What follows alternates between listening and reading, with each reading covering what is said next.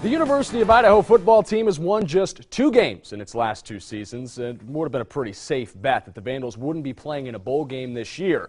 Now you can be 100% sure. The NCAA has dropped the hammer on the University of Idaho, banning the Vandals from postseason bowls in 2014 and stripping the squad of four hours of practice time per week. The penalties are a result of a failure to meet academic progress rate standards in each of the last four seasons. The university was notified of the impending sanctions last November. The school appealed twice, but to no avail. The good news is that the Vandals should be spared from future punishment, as athletic director Rob Spear explains.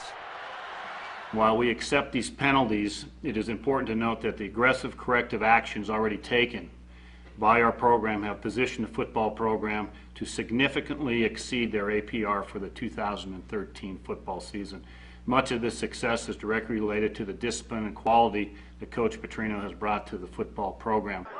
Idaho seniors, provided they haven't lost APR points over their career, would be free to transfer without sitting a season. Coach Petrino met with his seniors this morning. He does not expect any to leave the program.